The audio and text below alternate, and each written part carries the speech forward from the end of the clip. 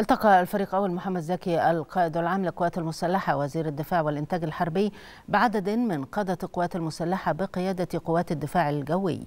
ويأتي اللقاء في إطار حرص القيادة العامة للقوات المسلحة على المتابعة المستمرة والوقوف على أساليب تطوير أداء القوات المسلحة ومسؤولياتها الوطنية في الحفاظ على الأمن القومي المصري وذلك بحضور الفريق أسامة عسكر رئيس أركان حرب القوات المسلحة وقادة الأفرع الرئيسية وعدد من قادة القوات المسلحة.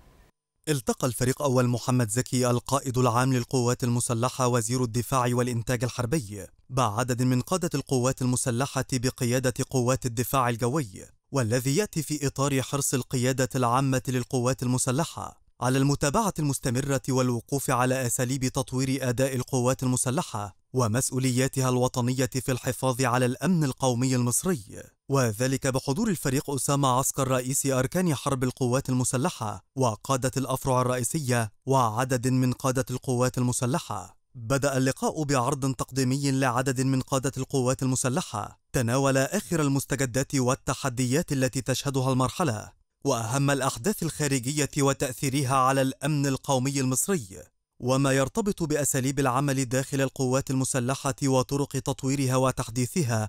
وألقى الفريق أول محمد زكي القائد العام للقوات المسلحة وزير الدفاع والإنتاج الحربي كلمة نقل خلالها تحيات وتقدير السيد الرئيس عبد الفتاح السيسي رئيس الجمهورية القائد الأعلى للقوات المسلحة لقادة القوات المسلحة. مؤكدا على ضرورة الحفاظ على أعلى معدلات الكفاءة والاستعداد القتالي العالي للوحدات والتشكيلات والارتقاء بالمستوى المهاري والبدني للمقاتلين بالتدريب المستمر والروح المعنوية العالية والمحافظة على الأسلحة والمعدات والمركبات. لتظل القوات المسلحة في أعلى درجات اليقظة والاستعداد لتنفيذ أي مهام تسند إليها تحت مختلف الظروف.